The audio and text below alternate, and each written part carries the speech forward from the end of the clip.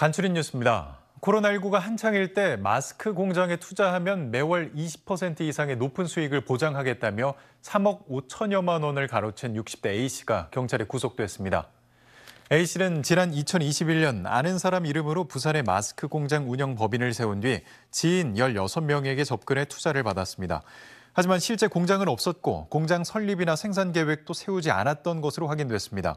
피해자들의 고소로 수배자가 된 A씨는 다른 사람 명의의 휴대전화를 사용하며 3년 가까이 도피 생활을 하다 결국 지난달 의정부시에서 검거됐습니다. 소녀상을 모욕하고 편의점에서 난동을 부린 20대 미국인 유튜버 조니 소말리가 업무방해 혐의로 재판에 넘겨졌습니다.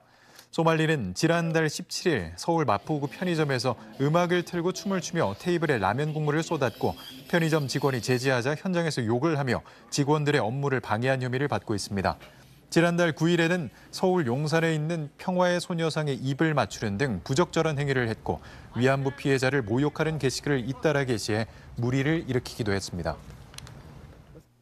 인천 만월산 등산로에서 윷놀이 도박장을 운영하고 직접 도박을 한 60대 총책 A씨 등 6명과 60대 B씨 등 5명이 경찰에 적발돼 불구속 기소됐습니다.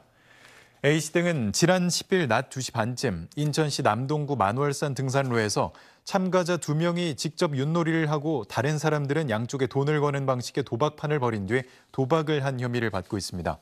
한 번에 적게는 30만 원에서 많게는 100만 원을 걸고 도박을 했는데 등산로 일대에서 도박을 한다는 신고가 잇따르면서 덜미를 잡혔습니다.